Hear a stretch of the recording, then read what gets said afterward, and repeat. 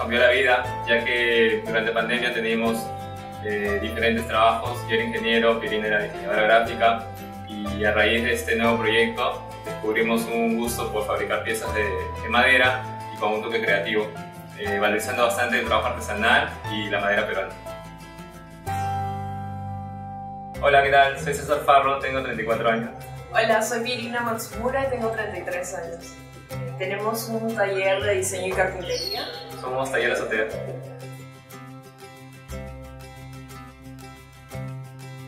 Bueno, el proyecto nació en pandemia, fue un momento relativamente difícil para nosotros, ya que teníamos planes de viajar al extranjero.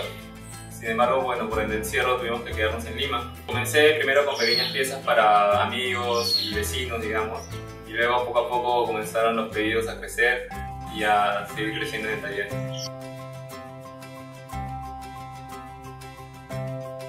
La parte más divertida es la parte creativa y también constructiva, ¿no?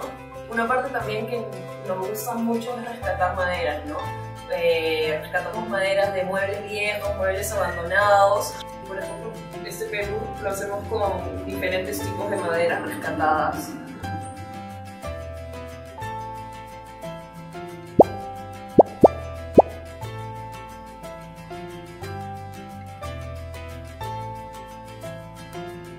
Siempre hemos tenido esas ganas de trabajar con la madera porque cada proyecto es algo único, la madera es un ser vivo y cada proyecto es distinto. Siempre aprendemos nuevas cosas cada vez que trabajamos en una nueva pieza. Tener una pieza finalizada y con todo nuestro empeño eh, nos brinda mucha, mucha satisfacción.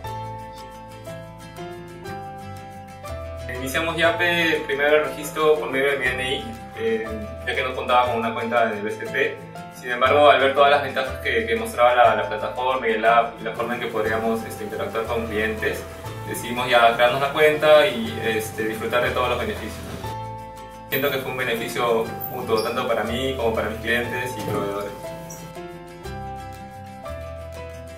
Uf, eh, se asocian al toque porque en realidad los beneficios que traía han sido eh, bastante grandes para nosotros. Hemos crecido en ventas, en tema de compras también con proveedores. La interacción actualmente es casi todo Yape. Incluso con la nueva actualización que ya te permite yapear a otros bancos es como que uf, la bendición. Así que